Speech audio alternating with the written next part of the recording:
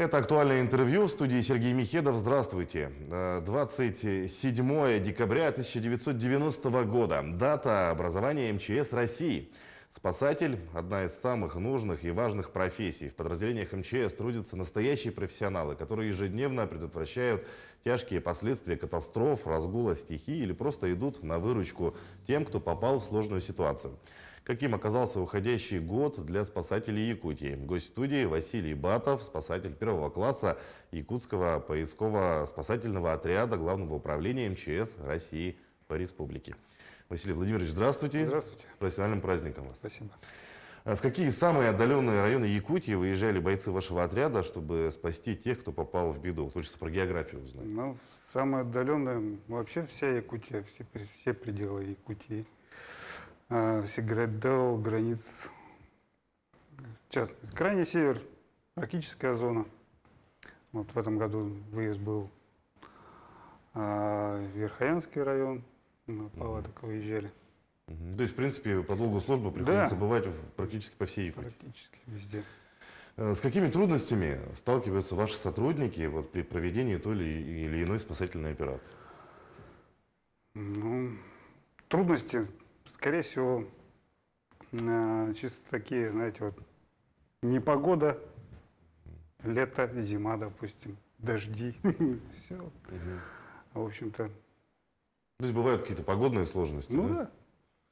да. А бывает, бывает, может быть, э, трудности именно с людьми, которых приходится спасать? Как себя вот люди ведут чаще всего Люди, в сложных ситуациях?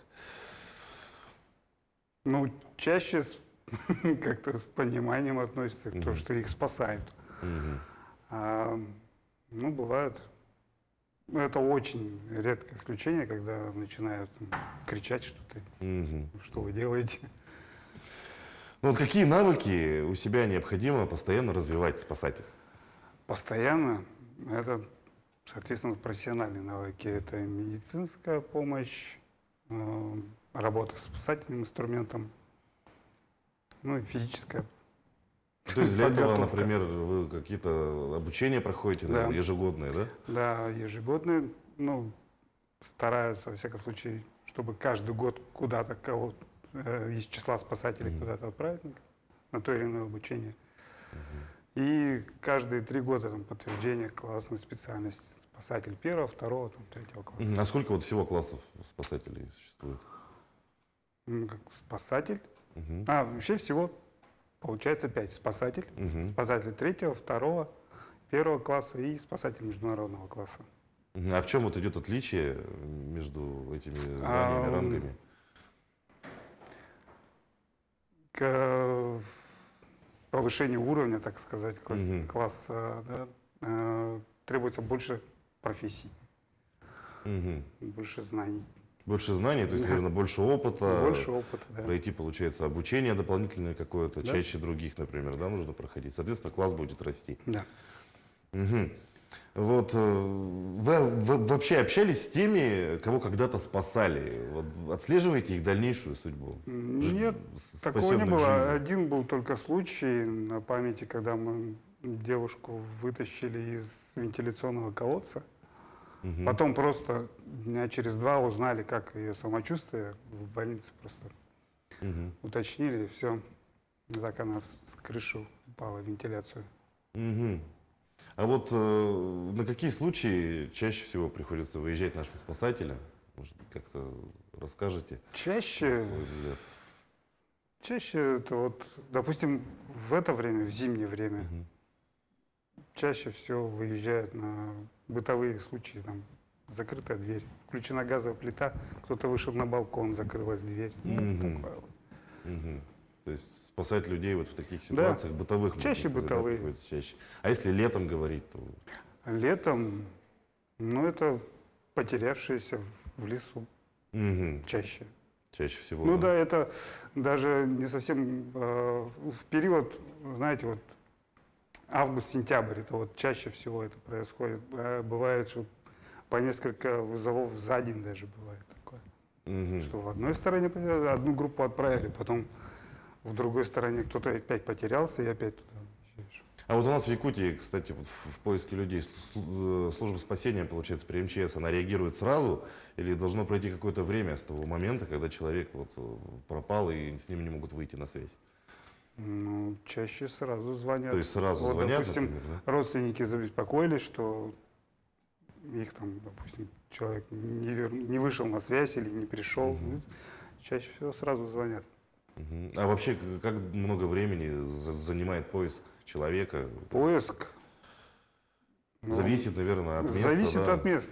Все зависит от места. Можно искать и неделю, можно там за пару часов найти. Ну вот э, к чрезвычайным ситуациям и несчастным случаям. да, не секрет, что чаще всего приводит беспечность. Вот расскажите о таких случаях, может, какие-то в память врезались. Беспечность.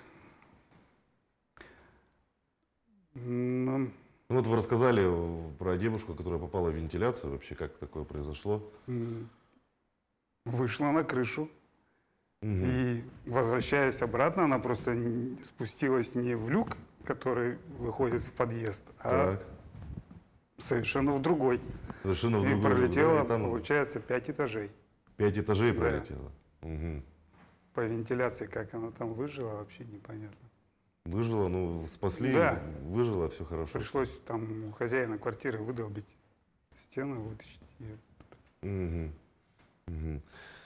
Ну вот, э, с опытом проще решиться на риск ради спасения людей? Или это какое-то врожденное качество? А, врожденная, да не знаю, наверное. Я, допустим, в детстве никогда не, не думал, что я буду спасателем. Вот, кстати, расскажите, как вы пришли в профессию, почему стали спасателем? Профессию. Честно, мне просто предложили. Пойдешь? Давай попробую. Все, Так. так, и- А для этого что, какое-то обучение при- пришлось пройти? Вы где-то учились в ВУЗе? Первоначально? Первоначально нет, это уже в процессе работы. А, Меня обучали на базе отряда, тогда еще поисково-спасательной службы. Все, на базе отряда меня отучили. А как долго, про- прошел аттестацию. как долго шло, шло обучение? Ну, это, знаете, это в процессе вот работы, наверное, в течение года, полутора лет вот так вот То есть происходило. постоянно на Да. месте обучают, да? Да. В зависимости Ну, от более, случаев? так сказать, старшие товарищи. Мгм. То есть именно на практике обучают? Да, А вот сама аттестация что в себя включает, как долго длится? Аттестация – это обучение э, на базе учебного центра. Вот чаще мы в Хабаровск ездили. А, Там проходит обучение дополнительным профессиям э, и потом экзамены, аттестация. Мгм. А вот каким профессиям обучают сотрудников МЧС? Вот именно спасателей. Работа с гидравлическим инструментом, Мгм. допустим, э, альпинизм, Мгм. Ну и водная подготовка, медицинская подготовка. Всё- Каждый год что-то э, расширяется, так сказать, э, в процессе обучения. Допустим, что-то еще, новые технологии в той же э, в медицине что-то появилось, э, в медицинской помощи. В, в, э, альпинизме тоже что-то. Поэтому приходится обучаться этому.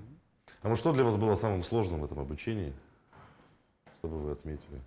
Сложно, Мгм. Тяжелее всего что давалось? Ну, я даже не знаю, ну, наверное, все-таки у меня, так сказать, э, я пришел в МЧС в 19 лет, поэтому мне было проще Мгм. как бы все это с годами наработать и Ну, то есть да пока, ничего такого сложного. пока был молодой, наверное, было Да, проще, да? было проще. Проще себя впитать, да, чему-то новому допустим, научиться. сейчас да. я пришел, это для меня сложнее было бы, наверное.